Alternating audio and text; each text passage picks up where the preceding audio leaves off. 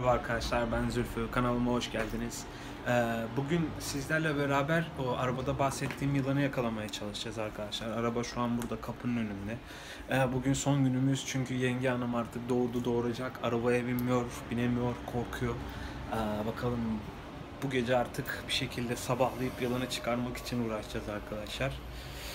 Ah, hadi bakalım yakalayabilecek miyiz? Ben de çok heyecanlıyım. Gidip canlı bir yem aldık. Şu an yem de arabanın içinde kendimizce bir eee, tuzak kurduk. Tuzak değil de size de zaten birazdan göstereceğim. Artık sonunu hep beraber izleyeceğiz. gidiyoruz arkadaşlar. Benim kuzenler de kapının önünde. Onlarla da sizleri ufaktan bir tanıştırayım. Arabayı nereye aldın lan? Ha?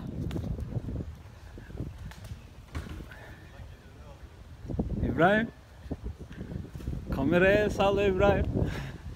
Arabayı aç arabayı.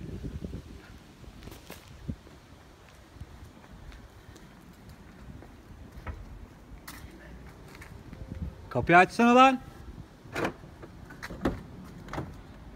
Yükseğe koymuşlar. Biz şu yere koymayı düşünüyordum da ben. Bizim bu kamiller yükseğe koymuşlar. Ee, şu an faremiz bu.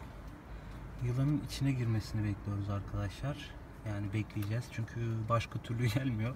Arabayı parçalatmayı denedik. Çok masraf çıkardılar araba fiyatında. Yılanın kaçtığı yerde burası.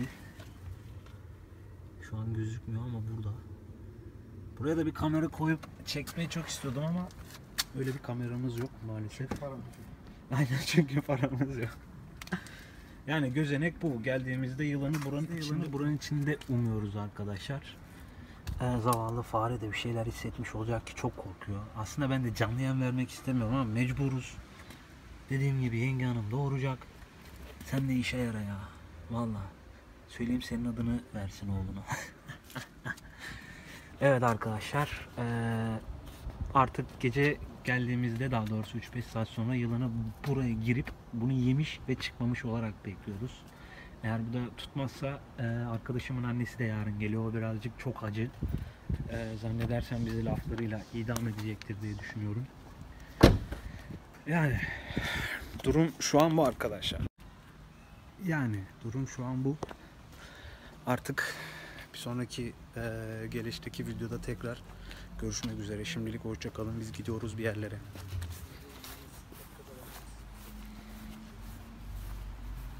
Tekrardan merhabalar arkadaşlar. Sonunda e, kaçağımızı yakaladık. Kaçağımız burada ve beni ısıran o psikopat şu an burada karşınızda duruyor. Renginin güzelliğine bakar mısınız arkadaşlar? Milka sütü gibi ya. Çikolatalı süt gibi. Kaçağımız buydu. Beni ısıran da buydu arkadaşlar. Ve sonunda mutlu sona yakaladık kurduğumuz tuzakla. Tuzağımız işe yaradı. Şu an ikisiyle uğraşmak gerçekten zor. Ben normalde ikisini çıkarmıyorum. Ee, ve arkadaşlar geçen edindiğim bir bilgiye göre kraliyet yılanı diye de geçiyormuş bunlar. Ee, gerçek adı bal python, top yılanı diyorlar. Ee, ama kraliyet yılanı olarak da geçiyormuş arkadaşlar. Zamanın kraliçeleri e, bunları aynı bu şekil kollarında bilezik takarak yani bilezik şeklinde takıyorlarmış. Takı niyetine bunları takıyorlarmış arkadaşlar. Duydum bayağı da enteresan. Hoşuma da gitti açıkçası.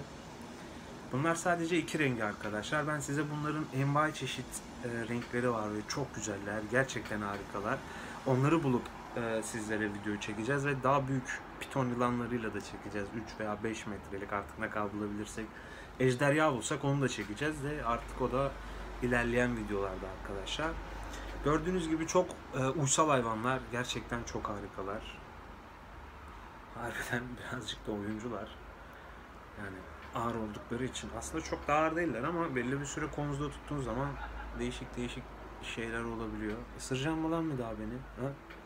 Tuzağımız çok iyi işe yaradı. Geldiğimizde zaten e, o fareyi yemişti.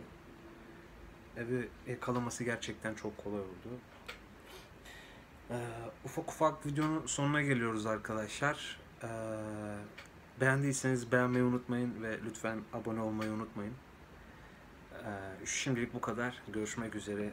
Daha dehşet videolarda görüşmek üzere. Ben bunları zapt edebilirsem kamerayı kapatacağım ama. Lan üçkağıtçı ağzıma girme. Ne yapıyorsun sen ya? Merhaba arkadaşlar. Lan sizin yüzünüzden merhaba dedik kapatacağımız video.